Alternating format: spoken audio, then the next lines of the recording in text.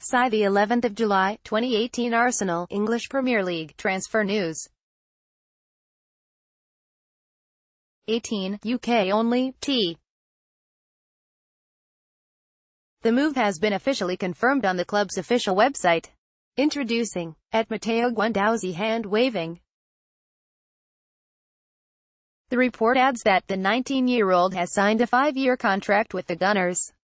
Apparently, Mislintat spotted the talented Frenchman but Unai Emery persuaded the player to sign for the English club.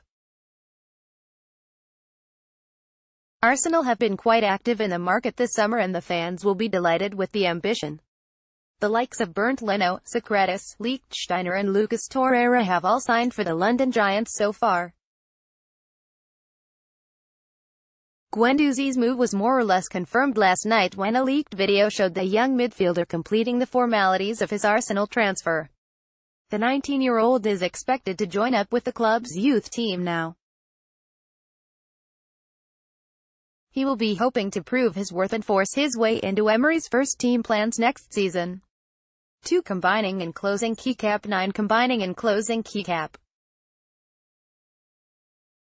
football writer with an interest in news, opinions, scout reports, betting tips, match reports, previews and tactical analysis. Contact Sigh at sportslens.com.